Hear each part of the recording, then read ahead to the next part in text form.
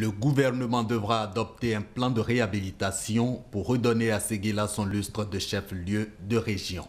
Déclaration du Premier ministre après une visite des édifices publics, jadis fierté de la région du Ouorodougou.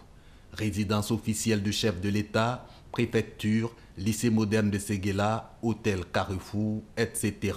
Daniel Kablan-Duncan a constaté ce qui reste de ces infrastructures et noté les vœux de leurs responsables.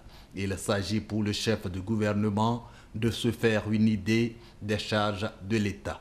Nous attendons tous que le chef d'État programme son passage ici dans le Rodougou.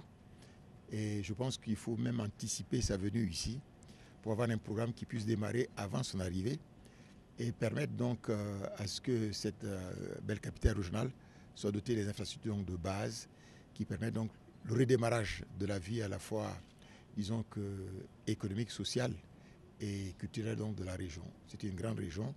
Il n'y a pas de raison qu'il n'y ait pas un plan de développement ici.